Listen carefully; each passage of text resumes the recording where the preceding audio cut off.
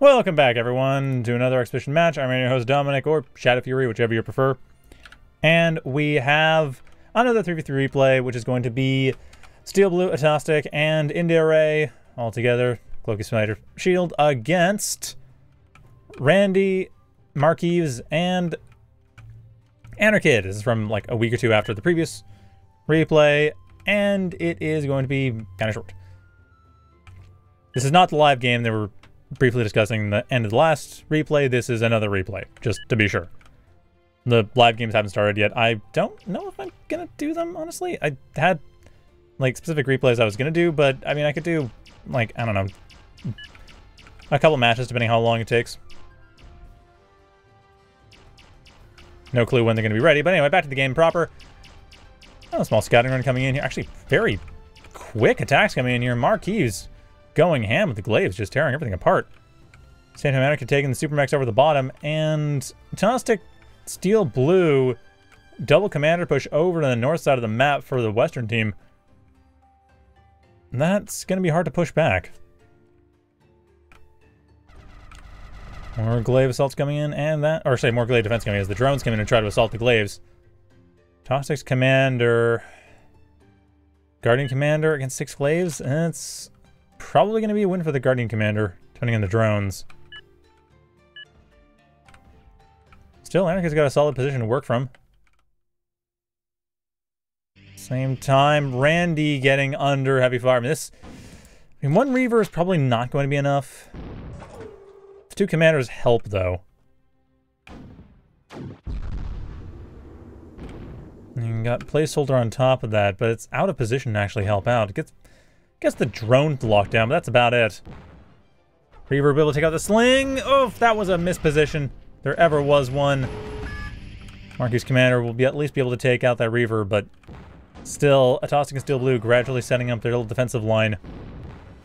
Haven't upgraded the commanders, though. Nice move switch into skirmishers as well. I mean, I guess, you know, they saw saw the Reaver, knew they had to deal with it somehow. Moderator is a good choice. Steel Blues Commander. Unfortunately, no follow-up to take them out, so Marquis can't delete them, but they can at least push away from their main base, get a little bit of breathing room to work with. Same time, though, Widow ran Anarchid's Commander. Backup forces coming in here. Placeholder totally out of position. No spiders on the Eastern team. Anarchid's Commander looks like it'll go down to fleas. Should be still some time for these ladies to come in and take it out, but it is going to be a tight... Oh, okay, it's fine. It's fine. The Venom's able to save the day. Bandit's coming in, though, as backup. Anarchid's Commander has another seven seconds before it goes down, or for, rather, gets back up. The Marquis Commander on the repair, saving Anarchid's Commander from the Widow Strike. Nicely played. And now the Widow itself, punished for its sins. As the Eastern team is able to save their one of their commanders and continue to maintain their own territory control. Well, looks like the bandits were supposed to get a little more damage than they actually did. Unfortunate, but it does mean Anarchid's Commander lives. Going back to base, though. Just build stuff up. Don't even risk it. Build up the energy. They need it. Moderator... Oh, moderator down. Are there other moderators in play? I don't expect so. Same time, bandits coming on the south side of the map. I don't think they're going to be able to get rid of this jack. Does not look likely. And the slings over to the north, gradually removing everything Atostic has. Or Atostic and Steel Blue has. On top of that placeholder, keeping the commander from dodging any of the shots here. Steel Blue on the terraform. Well played there, giving Atostic some room to get out of there. The north side remains heavily contested, and the eastern team is looking to take it. Same time, the south side is... Mean, this is one terraformed around, a terraform walled mechs. It's the only thing that's actually keeping Anarchid in any kind of position on the south side. So, and yeah, the Venoms are coming in. We'll be able to take that out. As soon as they want to, honestly. But there they go. They go, and there goes the metal extractor, completely locked down and done. Still, the north side, there is, again, Eastern team just holding it pretty well, but south side has been lost by Anarchid. In fact, they're in such a forward position right now. I am honestly not too confident about their odds. Is that a placeholder again? No, it's a Firewalker. Trying to get the Firewalker up. Oof. Well, I mean, Faraday is a good choice to help get rid of the Felon, if nothing else.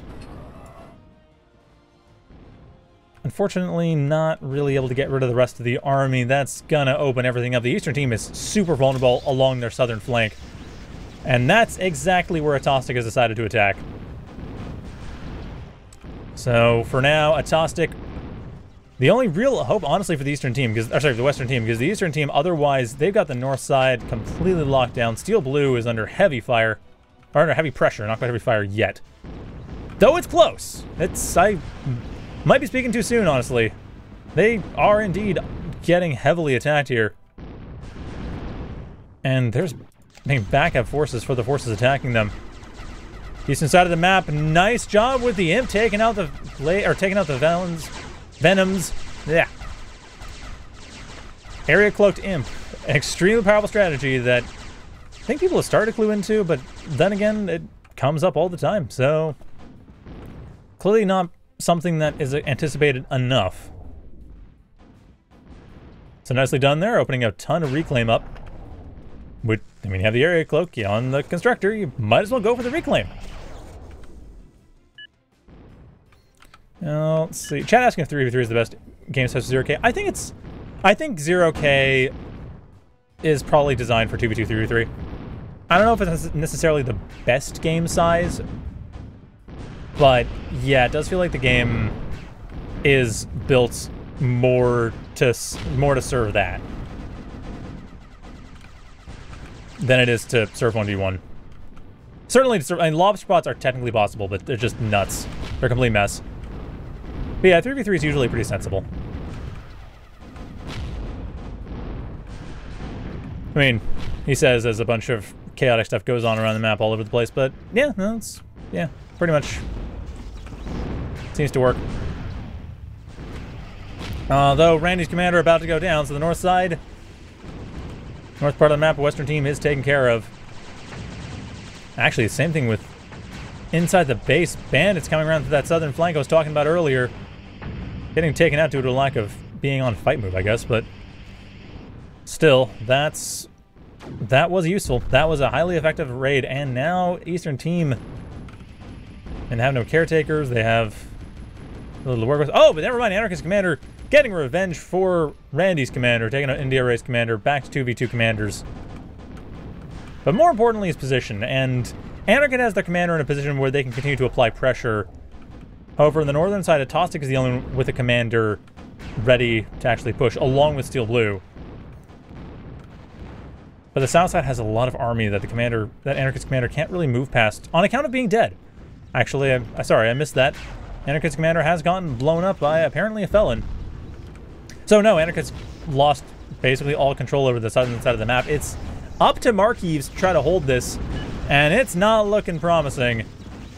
Northern side, under too much pressure for Randy to easily deal with, forced to have a slow retreat. The southern side is completely falling apart. Anarchid wants to throw in the towel, and... Well, I think Marquise might be on their side. Randy's the only one doing decently okay. And indeed, that is Marquise throwing it. Western team wins. So yeah, well played. Yeah, these games, I mean, okay, first off, these are curated games. Like, every single one of the replays that I'm doing, uh, unless I'm doing the 3 3s with Randy and co, I don't know what's going to happen with that. It sounds like they're not quite ready yet. I don't really know. But when it comes to the Actually, I'm curious. Are they ready? let's see. Uh, yeah, battle list. Let's turn this off.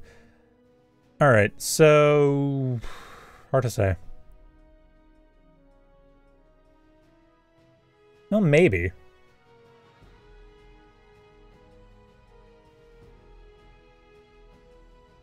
Yeah, I'm not 100% sure. Uh, if Randy could point out in chat whether or not they're ready.